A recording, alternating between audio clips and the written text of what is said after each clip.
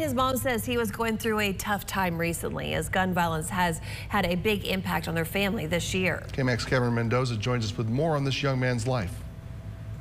Brian and Lauren, Priscilla Lucio, Zadrian's mom, says they are still heartbroken after her nephew, 12-year-old Jordan Rosales, was shot and killed in July just this year.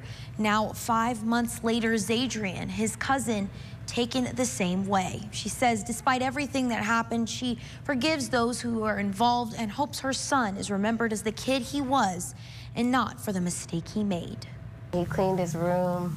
He put that picture up and he was trying. He was trying to be better. Priscilla Lucio says her 14-year-old son, Zadrian, was dealing with a lot since losing his younger cousin, Jordan, earlier this year. When Jordan, his cousin, passed away, unfortunately, the same way, you know, Zadrian went into deep depression and he went to go try to get help. Lucio says he was doing better, giving himself to God days before he was shot and killed. He was always smiling, always making jokes, and he he was, you know, he was happy, and um, he was changing a little bit. He did hang around with, you know, the wrong people at the wrong time, but he was not like that. My son was not like that, and he was always at home.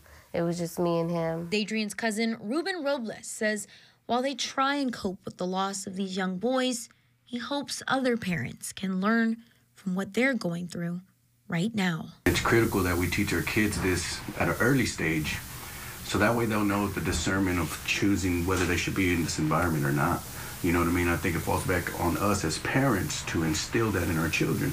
Because if we don't, you know what I mean, situations like this might take place. And a big thing is, is to love each other deeply and to hold on to today, you know what I mean, and pray without ceasing because tomorrow's not promised and it might be your last prayer.